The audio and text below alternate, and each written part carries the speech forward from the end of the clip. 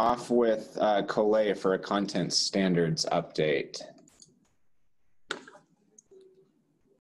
Good morning, everyone. It's great to see your smiling faces or some sort of facsimile of, of your faces online here.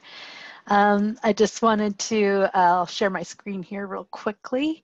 Um, uh, have a brief update for you on our um, Teacher Learning Hub in, um, as well as the content standards update. So I'm just gonna move a couple things around here on the screen so hopefully you can see a little bit better.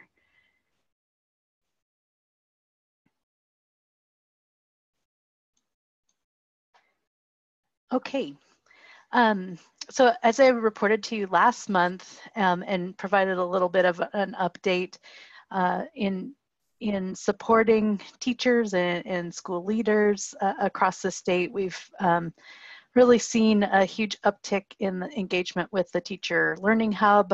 Um, and what, when, when we looked at our information at the end of April, um, just after the last meeting that I um, spent some time with you on this, there were 5,076 renewal units earned in April alone. Um, and so that, that um, really has uh, we, we've noticed a difference in in engagement and workload on the part of our team here at the OPI who support all of the courses that teachers and, and leaders are taking. So we're excited to be able to continue uh, that engagement and um, are really paying attention to um, what are some of the courses that we need to develop to help meet some of the the gaps that we see and the questions that we have coming about supporting online pedagogy in particular um, for, for K-12 students.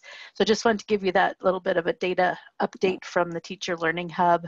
Um, we've continued to also on a weekly basis support some remote learning sharing sessions um, and the, definitely that engagement has declined over the last couple of weeks.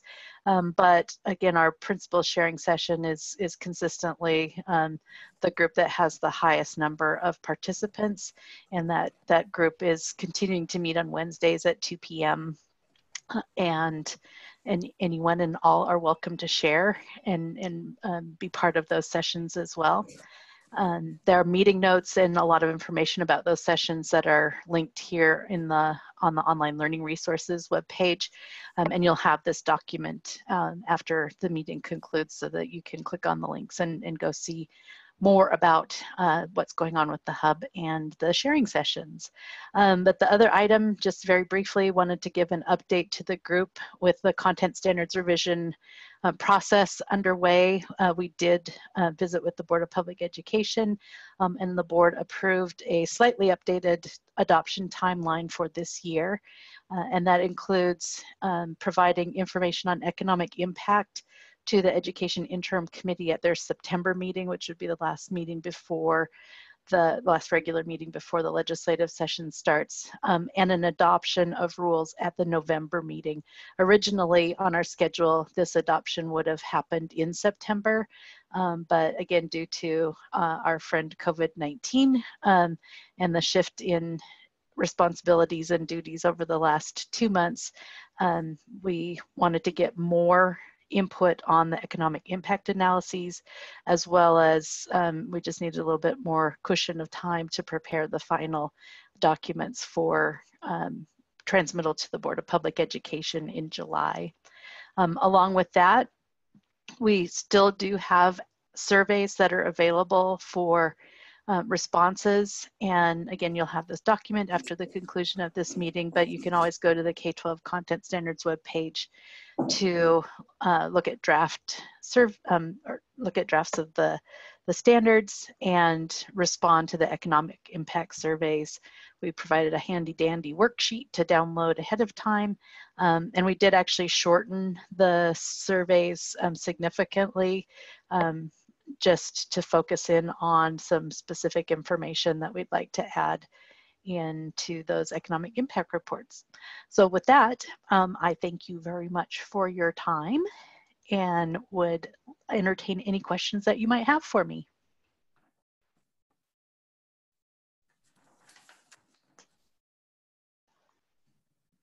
Thanks, Colette.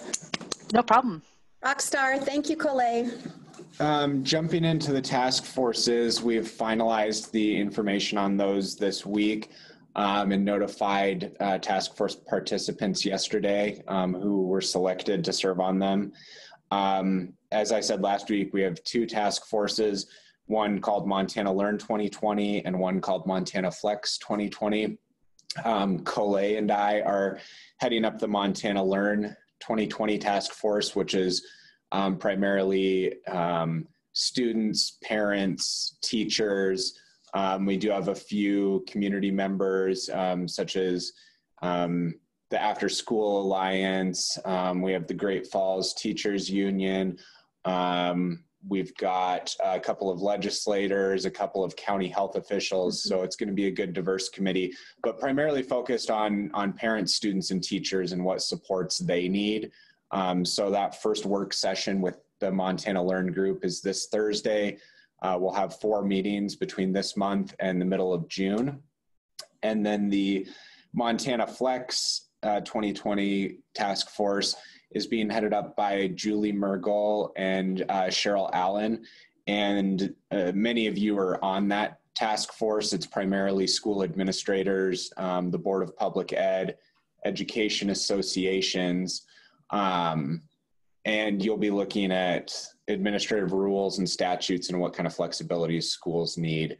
Um, so I will share around, I'll have Christy share around after this meeting um, the document that lists everyone who is on those committees and the meeting dates.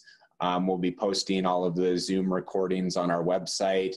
Um, and of course, welcoming public comment on them and, and comment from your organizations. So, yeah, basically these two committees will be run running concurrently, but looking at different issues, um, looking at flexibilities with one, and then looking at um, supports and resources and what kind of learning environments um, teachers, students, and parents would like to see in the coming fall semester. So, like I said, we'll get that information shared around in the reflections. Um, are there any questions or anything I forgot to add, Superintendent? Uh, number one, this is all about safety and uh, making sure that everything that occurs in our schools is a reflection of why we're here at this point in this different normal. Uh, we don't know what is going to happen in the fall. Uh, we don't know when, what phase we might be in. Uh, we don't know a lot of things, so that uncertainty we are placing under um, under the umbrella of safety. So, Kirk, yeah, to answer your questions, um, last week when I briefly discussed the task forces, they were still being outlined and formed.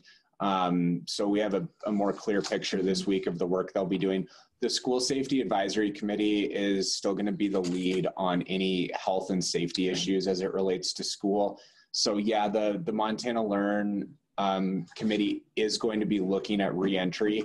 Um, and I'm sure that since we have a, a, couple of county health officials on, there will be discussion of um, of health and safety, but it's more going to be around um, distance learning needs um, and what the experiences were this semester, what teachers, parents, and students need. Um, we're still going to be deferring to the School Safety Advisory Committee for um, for any health and safety reentry guidance. Um, any other questions or comments on that? So Dylan, yeah, this is Kirk, and I just would do follow up with that. You know, the four planks that are in that, um, the work of this uh, Safe Schools Advisory Committee, academic programming, and social, emotional, and behavioral are two of the four planks that are there. So, you know, what what the task force is looking at uh, in terms of academic programming and distance delivery, and that under the three, you know, potentially three phases I think will be important information to have to the safe Montana Safe Schools Advisory Committee so that the final that final guidance could be put together hopefully by the end of June. Yes. Absolutely, that's our goal. Um, and yeah, the all of the guidance from both task forces will be given to the School Safety Advisory Committee, um, and we wouldn't expect the School Safety Advisory Committee to hit on all of the different um, implicate or you know facets that go into school reentry um, things like distance learning um, resources um, it resources Um, but they'll get that whole document so that they can look at what some of the concerns and recommendations are w- with regards specifically to health and safety environments for learning.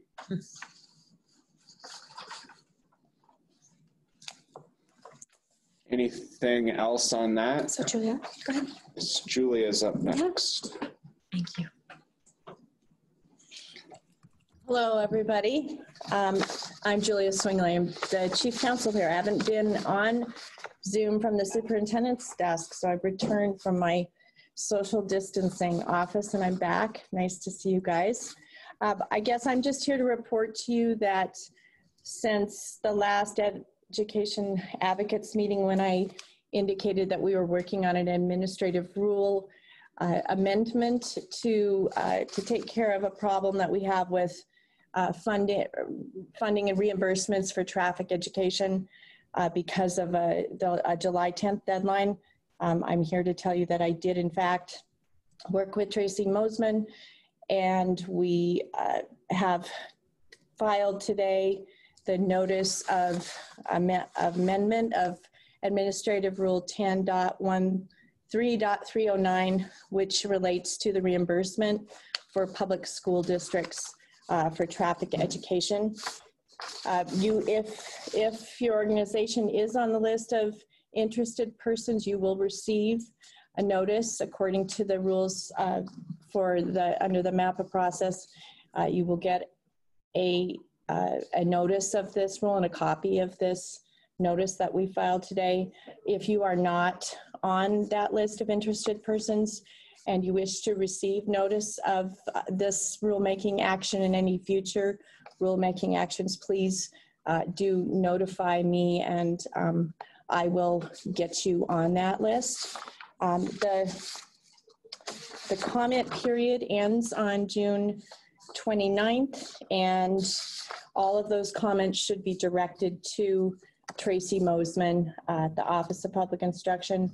And I have the address there, of course, but you, it's all contained within the notice, and you can uh, review the changes that uh, we believe are necessary in order to allow uh, reimbursements for traffic education uh, courses that have not been able to be completed um, by July 10th uh, because of the COVID restrictions on, um, uh, you know, and the, the restrictions that have been uh, interfering with the ability to have the driving time in particular for students. So we, we think that this amendment takes care of that on a temporary basis and allows these schools to get reimbursement. Uh, So I guess that's it. If you are not on the interested persons list with the Office of Public Instruction, please contact me or, uh, or Tracy Mosman so you can get on that list. Otherwise, you should be receiving a notice through the Secretary of State's notice process, but I believe as well, we'll be attaching this notice to the um, reflections that you received from our Assistant Christie uh, regarding this Education Advocates meeting. Thanks, Julia. Any questions about that?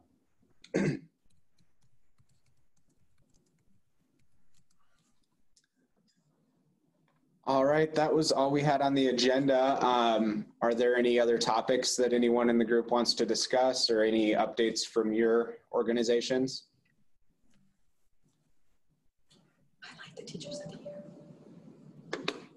Um, and we do have Dylan Huisken, it looks like. I'm not sure if Linda Rost is on, but they're, uh, they're both going to be serving on the Montana Learn Task Force, um, as well as Ann Keith and Anna Baldwin. So we'll have some great teacher leaders on that uh, Montana Learn Task Force to help guide the conversations. Um, we have about 40 people on it, so it's a pretty large committee. We'll use Zoom breakout rooms. Um, and and we're yeah people from all over the state and representing elementary middle and high school and different um, uh, they teach different subjects. So um, it's great. Uh, anything else for the good of the order? Uh, mccall are you on by chance? Oh yeah i was gonna Yep, McCall. Yeah, McCall, um, you know, solicited feedback from interested parties on um, the governor's 8.8 million. So um, I don't, I don't know if anyone has any updates on that or wants to talk about that at all. That came about yesterday.